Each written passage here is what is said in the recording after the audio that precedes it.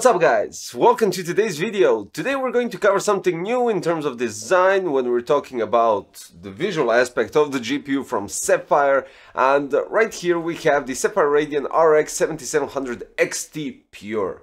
And with the pure white design it does have a dash of red and a bit of a grayish lines but that's only the design, right? We're going to go through the design, features, synthetic benchmarks and a bit of a gaming. Unfortunately I couldn't cover 26 games in this short period so I'm going to leave that for another video later on during this month most likely.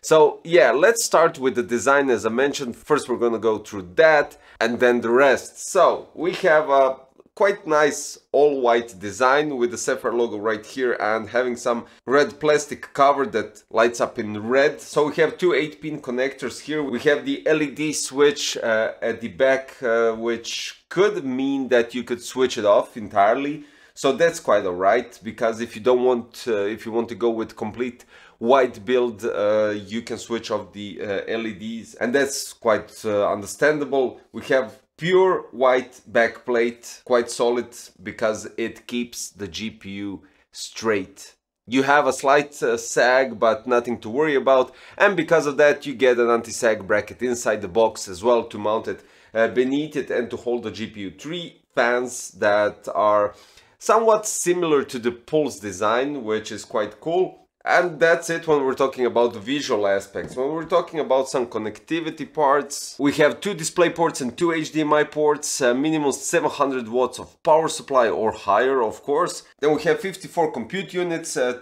3456 uh, stream processors, 54 RT accelerators and 108 AI accelerators, 12 GB GDDR6. It supports AMD FSR 3.0, AMD HYPR-RX, OBS Studio, AMD Smart Technology and noise suppression. When we compare 7700 XT to 6700 XT, we have uh, 48 megabytes second generation AMD Infinity Cache, while the uh, 6700 XT has 128 megabytes first uh, generation.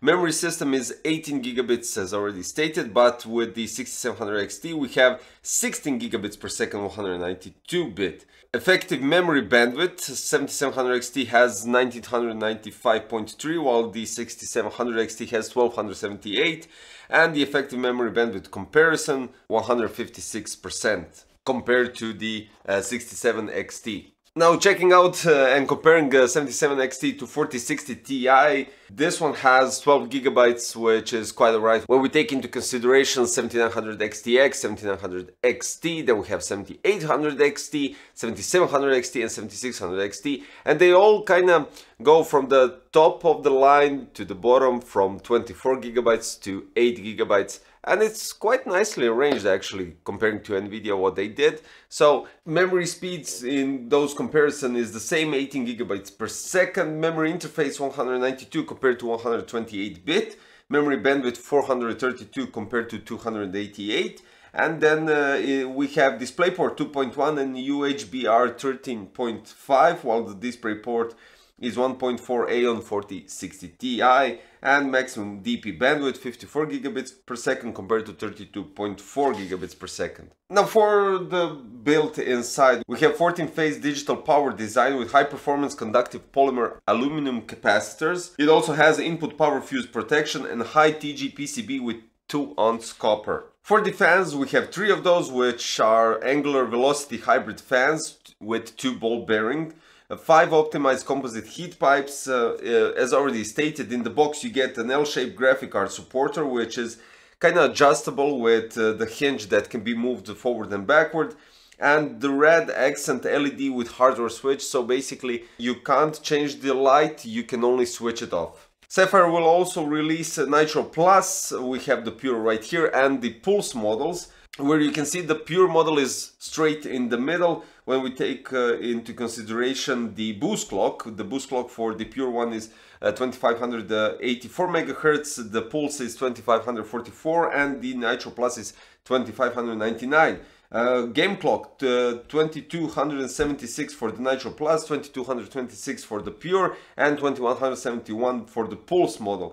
Everything else is uh, basically almost the same except for the form factor. The Nitro Plus is a 3 slot, while the Pure and Pulse are 2.5 slot, and we have the 3x cooling on the Nitro Plus and the Pure one, while the Pulse one is dual X. All three use two 8-pin PCI Express uh, connection for the power, and only the Nitro Plus has dual UEFI with software switch, addressable RGB light bar, Nitro Glow ARGB, fan quick connect and fan health check, while also assistive system fan control. The TDP ranges. So uh, Pulse goes up to 230, the Pure goes up to 240, and the Nitro Plus goes up to 252 watts. Now for the benchmarks, uh, of course I started with AIDA 64 Extreme Edition, 30 minutes test, paired up with 7900 X3D, CPU went up to 91 degrees Celsius, clock speed 4750 MHz on the processor, GPU went up to 48 degrees Celsius, which is outstanding because I didn't expect such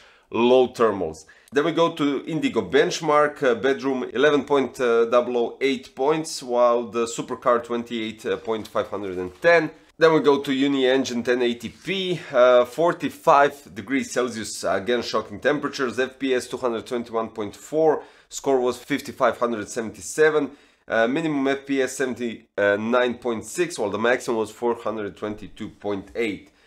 3DMark Time Spy Extreme in 4K, we got score 7966, GPU score was 7868, Time Spy GPU score was 17035, while the overall score was 16328. Then we go to Firestrike, uh, 56 uh, degrees Celsius, so we get some more heat up on the GPU, but still quite normal.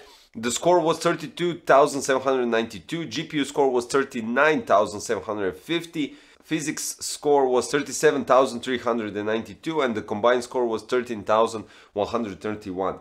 So I used TechPowerUp GPU-Z uh, to check out the board power draw, GPU temp on the hotspot, GPU temperature on the uh, core, GPU clock and everything else. And all of these are at the maximum that I'm going to mention, but you can see in the pictures everything else. So 256 watts uh, board power draw, 86 degrees Celsius uh, GPU temperature on the hotspot, 58 degrees Celsius uh, core GPU temperature, 2669 megahertz uh, GPU clock and GPU memory 2238.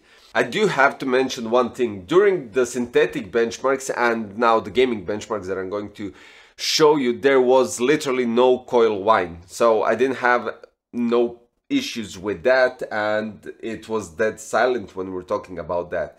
The cooling was actually quite surprising and uh, I'm quite uh, amazed that comparing to the new generation, but after all, we can't compare the same thing as the NVIDIA GPUs and the Radeon cards, but uh, three fans, quite slim, two and a half uh, slot thickness, and it keeps the thermals at 57 I would say on average but if we take into consideration like uh, the gaming part it goes up to 62 degrees and it all depends on the GPU usage and how the game acts with this GPU and everything else. So let's go into gaming. It's going to be quite interesting because I didn't expect uh, this kind of results and um, since I already have benchmarks with 7900 X3D paired up with RTX 4080, this is definitely going to be interesting. Comparing 4080 and 7700 XT in uh, Spider-Man Miles Morales, in 1080p we have average of 136 FPS for the 4080, while the 7700 XT 115 1440p we have 91 on average for 4080 and 87 on average for 77XT. PUBG 4080 in 1080p we have 259 average and 197 in 1440p while on 7700 XT 1080p 134 average and 59 on 1440p. Star Wars Jedi Fallen Order uh, 7700 XT has on 1080p average of 143 1440p 101 on average. RTX 4080 has 143 on 1080p, but on 1440p has again 143. Now Assassin's Creed Valhalla is something else. 1080p with 7700 XT, uh, average was 137, while the 4080 was 130. And then if we go to 1440p, the average for 7700 XT was 103, while for the 4080 was 131. Hogwarts Legacy 7700 XT, we have 146 on average in 1080p for 7700 XT, and uh, 1440p we have 124. Of course, I have all of this recorded, so I did use the new uh, GPU drivers, the Adrenalin 2320 uh, 0105, and I think this GPU does uh, outstandingly well when we're talking about games on the AMD platform. Comparing it to PUBG where RTX 4080 scores like almost above 200 FPS in 1080p and uh, 4040p is a bit different story but taking into consideration that where we have 100 FPS of difference and then we go to Jedi Fallen Order and then we go to the other parts it's uh, something else. But uh, synthetic benchmarks really do show quite uh, nice scores and I do have to say it kind of goes into that uh, perfect segment for 1440p gaming because everything I did was on ultra details and if you kind of fiddle around depending on the game and what kind of FPS you get it could be quite interesting for you as well. But we do have to wait for the prices to see what we can expect comparing the prices to the performance and everything else. The cooling is outstanding and I do have to say on the Sapphire RX 7700 XT Pure 58 on average is quite great. And the design is uh, immaculate. Now i'm going specifically on the design because this one looks cool. Talking about the performance um, as already stated i mean it's quite solid. And uh, i paired it up with 7900 x3d just because i wanted to give this gpu that extra headroom so it doesn't bottleneck uh, with uh, some sort of a weaker processor. Um, I think it could be a good pair with 76 or 7700X, but uh, I didn't test that out and I didn't have the time to actually uh, run it through. But I think 7700X would be a perfect match with this card. Regarding that, I really wanted to give it, as already stated, more room to push it to the limits and see what it can uh, give us. Uh, that will be all for today, guys. A bit uh, intro introduction, review, benchmark, synthetic gaming, uh, overview of the card and all the other details, which uh, I will definitely cover more in that uh, gaming video, which will give you more insights when the GPU goes live and if there are some updates on the drivers and everything else because this was done all pre-release and had to be prepared for today. So it's all somewhere there. We'll check that out later on and definitely give you more heads up on that part. So guys, that will be all for today. If I find the link directly for this GPU and if you like it and you think it's suitable for you to pair it up with your processor, uh, I'll put it in the description below. And finally, if you like uh, this type of content as well as the other, don't forget to subscribe if you already didn't, hit the like button and click the notification bell for future ones. Thank you for watching, see you next time guys, bye bye.